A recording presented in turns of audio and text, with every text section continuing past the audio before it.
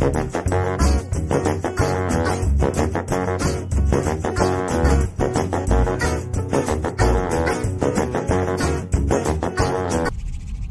really? Really? Oh my god! A volcano!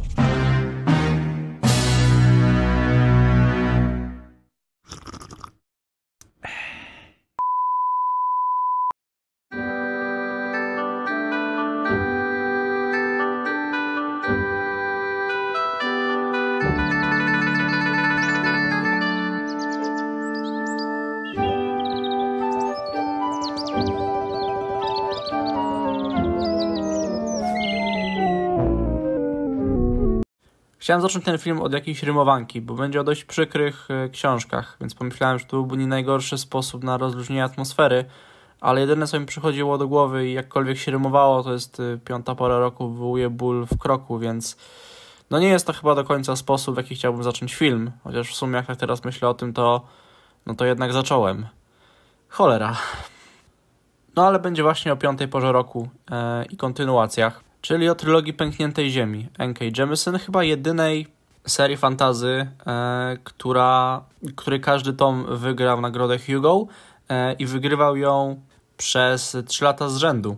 Piąta pora roku w 2016, Wrota Obelisku w 2017 i Kamienne Niebo w 2018. Jak sobie popatrzycie na konkurencję, to była naprawdę niezła, e, bo to byli chociażby Cixin Liu, Becky Chambers, Jim Butcher, Neil Stephenson, Naomi Novik, czy na przykład John Scalzi, czyli e, autor Wojny Starego Człowieka. E, no i o tej serii będzie. O jednej z najbardziej nagradzanych serii i też na pewno jednej z najbardziej oryginalnych serii książkowych, jakie czytałem w swoim życiu. Zacząłbym jednak trochę od końca. O, jak w sumie teraz o tym myślę, to jest to bardzo ładne nawiązanie do pierwszego zdania w tej serii, ale zacząłbym od pewnego komentarza, który dostałem, który dostałem pod jednym z poprzednich filmów. Już nie pamiętam pod którym, ale Wydaje mi się, że to mogło być podsumowanie lutego, no bo to musiał być film, którym zapowiadałem osobny odcinek o trylogii Pękniętej Ziemi. Ten komentarz, jego sens był taki, że, um, że osobie, która go zostawiła, bardzo nie podobała się pierwsza książka z tej serii i nie podobała się jej aż tak bardzo, że w ogóle porzucił jakikolwiek zamiar kontynuowania tej trylogii i wydaje mi się, że bardzo dobrze. Nie w tym znaczeniu, że dobrze, że komuś się książka nie podobała, ale wydaje mi się, że koniec końców jest to całkiem rozsądna decyzja, um, bo są czasami takie serie, mm, przy których pojawiają się głosy, nie ocenia jej po pierwszym tomie. Nie zrażaj się po pierwszej książce, przeczytaj, nie wiem, pierwsze trzy książki, dopiero potem zdecyduj. Wydaje mi się, że trylogia Pękniętej Ziemi jest dokładnym przeciwieństwem tego, bo mam takie poczucie, że jak nie spodobała Wam się pierwsza książka, nawet idąc dalej, jak nie spodoba Wam się pierwsze 100-150 stron pierwszej książki i będziecie się faktycznie męczyć, bardzo Wam się to nie spodoba i będziecie czekać na jakąś taką drastyczną zmianę to może faktycznie najlepszą decyzją jest porzucenie tej serii, bo ta drastyczna zmiana raczej nie nastąpi. I mam takie poczucie, że to jest taka trylogia, gdzie można bardzo łatwo ocenić, czy to jest seria dla Was. Natomiast e, co do samej treści. E, trylogia Pękniętej Ziemi dzieje się na planecie, na której znajduje się jeden olbrzymi kontynent, gdzie raz na kilkadziesiąt, kilkaset lat występuje coś, co nazywa się właśnie piątą porą roku, czyli taki okres bardzo drastycznych zmian klimatycznych, które skutkują e, no, bardzo widocznym pogorszeniem się warunków życiowych. I wtedy też ludzie najczęściej zamykają się w takich zamkniętych, zamykają się w zamkniętych. Tworzą takie zamknięte społeczności, e, no i starają się tam przeżyć. Nie będę mówił bardzo dużo o fabule całej trylogii, głównie skupię się na pierwszym tomie, bo pierwszy tom, wydaje mi się, jedną z jego większych zalet jest to, że on ma bardzo dużo, znaczy bardzo dużo, ma kilka naprawdę e, znaczących zwrotów akcji. E, I to są zwroty akcji z kategorii tych, które no, zmieniają patrzenie na całą historię w zasadzie o 180 stopni. Więc nie chciałbym kogoś naprowadzić na to, co tutaj się dzieje. E, natomiast w pierwszym tomie mamy trzy główne wątki. Ten pierwszy, który wydaje się tym głównym, e, to jest wątek kobiety, która nazywa się Esun. I to jest kobieta, która właśnie żyje sobie w jednej z tych zamkniętych społeczności i pewnego dnia wraca do domu, e, gdzie znajduje e, ciało swojego małego synka, który został pobity na śmierć. No i okazuje się, że osobą, która, osobą, która zabiła dziecko Esun, był jej mąż i równocześnie ojciec tego dziecka który później porwał córkę naszej bohaterki i uciekł z tej właśnie społeczności. Co dość oczywiste, Esun no, wyrusza e, w ślad za swoim mężem, żeby odzyskać swoją córkę. To jest pierwszy wątek. Drugi wątek to jest wątek dziewczynki, która nazywa się Damaja, e, która mówiąc najbardziej wprost, zostaje oddana e, przez swoich rodziców pewnemu mężczyźnie, mm, dlatego że Damaja posiada pewien dar, który umożliwia jej kontrolowanie ziemi, skał, może na przykład wywoływać trzęsienia ziemi. I ten mężczyzna zabiera ją do pewnego miejsca, gdzie no, znajdują się inni, tacy jak ona, posiadający te same umiejętności. Trzecia perspektywa to jest perspektywa kobiety, która nazywa się Sienit. Ona również posiada takie umiejętności i zostaje wysłana z pewnym mężczyzną e, do nadmorskiej miejscowości po to, żeby wykonać pewne zadanie. Ta fabuła brzmi trochę rwanie e, i w sumie też taka jest, bo w pierwszym tomie te trzy wątki przez bardzo długi czas wydają się kompletnie niepowiązane i dopiero później zaczynamy trochę rozumieć, czemu autorka skonstruowała to w ten sposób. E, w kolejnych tomach dochodzi jeszcze jedna perspektywa, e, która no, całościowo jest równie, równie ważna. Powinienem pewnie wspomnieć o tym, jak ta seria jest napisana, bo to jest raczej pierwsza bardzo specyficzna rzecz, która Wam się w oczy rzuci. I język to jest jedno, e, ale zacząłbym od narracji, bardzo nietypowej, na którą zdecydowała się autorka. Dlatego, że cały wątek Esun, czyli jakby nie było patrząc na całą serię, no wątek naszej najważniejszej bohaterki e, jest napisany w drugiej osobie czasu teraźniejszego. W drugiej osobie, czyli to nie jest napisane na zasadzie Esun zobaczyła coś, to nie jest pierwsza osoba, czyli nie siedzimy w głowie Esun e, i nie poznajemy historii z jej okrojonej perspektywy, tylko to jest pisane na zasadzie widzisz to, albo idziesz przed siebie. Nie wiem, słyszysz ze sobą kroki. I bardzo dużo osób nie lubi tego. Jak tak sobie śledziłem opinie na różnych forach, mi się to niesamowicie podobało i to w ogóle jest chyba mój ulubiony element całej trylogii. Um, może miałem tutaj lekkie skojarzenia z tymi czasami, kiedy słuchałem sobie creepypast na YouTubie, bo ten typ narracji był szczególnie na początku, um, w pierwszym tomie, był dla mnie bardzo niepokojący. E, I ja tym byłem totalnie oczarowany. Rozumiem, jeżeli kogoś to zmęczy, natomiast mi się to podobało bardzo i ma to swoje uzasadnienie fabularne, na które musicie trochę poczekać, jeżeli będziecie dość cierpliwi. Ale tak, jest wytłumaczone, dlaczego narracja jest taka i dlaczego jest taka w przypadku tej konkretnej bohaterki. E, to nie są, idąc dalej kwestią językową, to nie są najbardziej dynamiczne książki. Znaczy tutaj nie ma dużo scen akcji, e, ale no nie można powiedzieć, że tu się mało dzieje. Tu się bardzo dużo dzieje. Co prawda najwięcej dzieje się w bohaterach, bo N.K. Jemisin bardzo dużo czasu poświęca na to, żeby pokazać nam i opisać nam to, co czują bohaterowie e, i co myślą bohaterowie. I kurde, jest w tym dobra. I na pewno też pomaga tutaj to, że e, pani Jemisin się nie cacka. E, nie cacka się po pierwsze w kwestii pokazywania okropień z tego świata, bo jak już powiedziałem, to są raczej dość przykre książki, to jest raczej ten typ serii, gdzie mało dobrych rzeczy się dzieje i przez większość czasu jest dość smutno i przykro, e, więc to po pierwsze. Po drugie, e, powiedziałbym, że pani Jamison nie próbuje wybielać bohaterów. To znaczy, kiedy oni kogoś nienawidzą w książce, w książkach, e, no to autorka po prostu pisze, że faktycznie tak jest. I jeżeli kogoś coś boli, to my wiemy, co go boli i jak mocno go boli. N.K. Jemisin w kwestii bohaterów przynajmniej jest bardzo konkretna. Jeżeli chodzi o mnie, to jak najbardziej na plus, bo bardzo łatwo można ich zrozumieć. E, i myślę, że bardzo dobrze można ich poznać. Co jest tym bardziej wartościowe, że po pierwsze e, nasi bohaterowie w większości nie są do końca dobrymi ludźmi. I też no, autorka bardzo wyraźnie daje nam znać, że nie do końca mogą być, bo gdyby byli, to raczej w tym świecie by nie przeżyli długo. No i po drugie, bardzo często można poczuć ich ból, kiedy przytrafiają się im bardzo niefajne sytuacje. W kwestii bohaterów to jest fantastyczna seria. E, I w ogóle powiedziałbym, że Esun to jest jedna z moich ulubionych postaci kobiecych w fantastyce w ogóle, bo jest, jest totalnie niesamowita e, i bardzo, bardzo niejednoznaczna.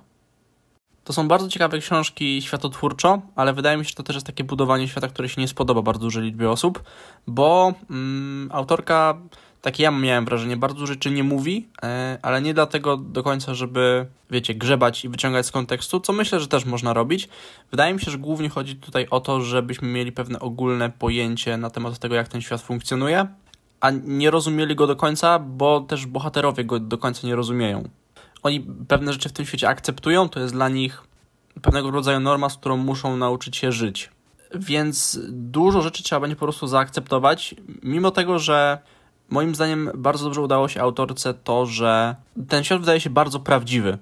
I u mnie ta, ten poziom niewiedzy nie wywołał takiego uczucia, że świat jest dziurawy albo jest nieprzemyślany. Wręcz przeciwnie, bo myślę, że czułem to, co miałem czuć.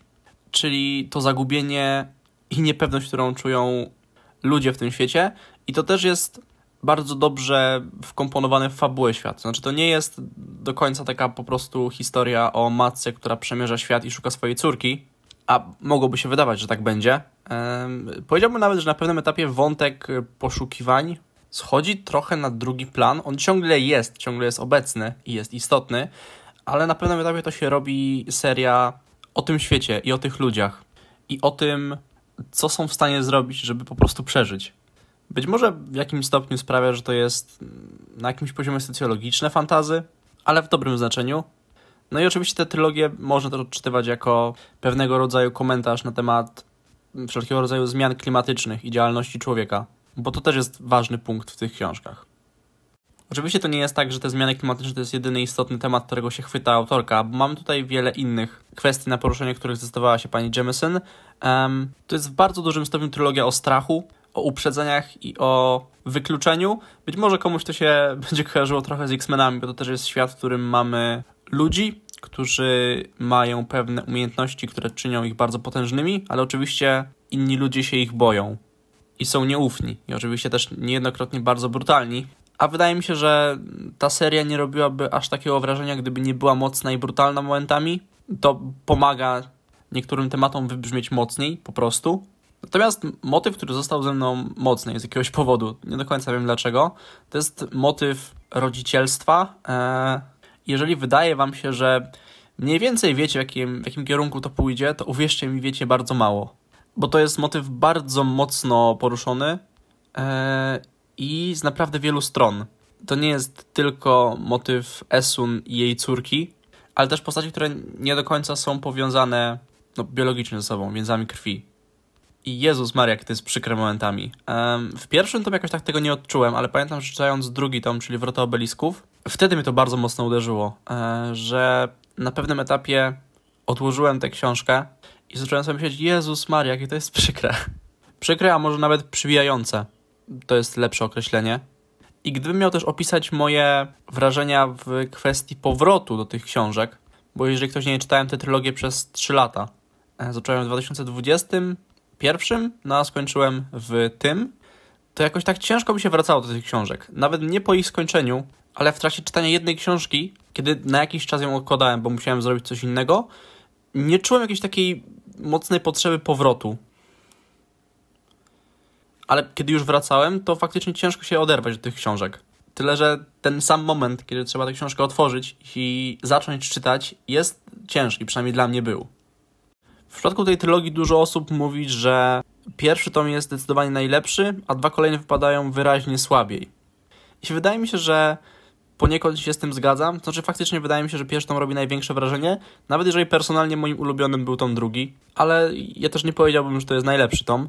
Najmniej podobał mi się tom trzeci, aczkolwiek w tomie trzecim zakończenie jest świetne i faktycznie cała trylogia jest zamknięta w sposób, który podobał mi się bardzo. Wydaje mi się, że najwięcej problemów możecie mieć właśnie z tomem drugim, dlatego że tam wyraźnie odczuwalny jest ten syndrom drugiego tomu, e, czyli tego punktu przejściowego między rozpoczęciem a po prostu zakończeniem trylogii. Bo tam bohaterowie przez większość czasu siedzą w jednym miejscu, tak naprawdę.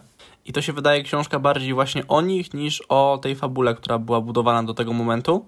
Co mi się podobało, ja lubię czytać o postaciach, jeżeli uważam, że to są dobrze napisane postaci, postacie, um, ale zgadzam się z tym, że to uczucie progresu w drugim tomie i tego, że faktycznie do czegoś zmierzamy, jest chyba najsłabsze, a najmocniejsze właśnie w tomie numer jeden. Chciałbym, żeby ten film był możliwie jak najkrótszy, bo ja tutaj nie chcę do końca mówić o świecie czy o systemie magicznym, bo myślę, że to zabierze dużą część przyjemności tym z Was, którzy się zdecydują tę serię przeczytać, albo przynajmniej zacząć faktycznie myślę, że im mniej o tej serii wiecie, e, tym lepiej dla Was i tym łatwiej będzie Wam się wprowadzić w ten nastrój, w który, tak przynajmniej ja myślę, chciała Was wprowadzić autorka, czyli w to uczucie takiej beznadziei, niepewności czy skonsternowania. Ten film to ma być raczej taki film, który mniej więcej powie Wam, czego się spodziewać po tej trylogii. No i po tym macie stwierdzić, czy to jest coś, co brzmi dla Was dobrze. to są bardzo przykre książki, bardzo niejasne książki, które mimo tej niejasności wydaje mi się, czyta się całkiem dobrze i całkiem proste jest y, śledzenie losów naszych bohaterów. Y, to nie jest ciężkie do zrozumienia. To nie jest y, Księga Nowego Słońca Gina Wolfa, gdzie tam też świat i jego podstawy są raczej ciężkie do zrozumienia, ale równocześnie ciężko jest niekiedy zrozumieć, co się dzieje z naszym bohaterem. Tutaj raczej nie ma tego problemu. Tutaj wiecie, co się dzieje. Wiecie, wiecie z czym muszą się mierzyć nasze bohaterki i bohaterowie. To, co ja zapamiętam najmocniej, to są te wątki przynależności, nietolerancji, rodzicielstwa. To są fa fantastyczne postaci. Przede wszystkim Esun, która jest, jak już powiedziałem, fantastyczna. Mimo, że momentami trochę ciężko ją polubić, to jest język i też w dużym stopniu tłumaczenie, e, którego, co ciekawe, podjął się Jakub Małecki i do tej pory to jest moja ulubiona praca tego autora. I to ogólne poczucie beznadziei i ludzi, którzy z tą beznadzieją muszą sobie radzić.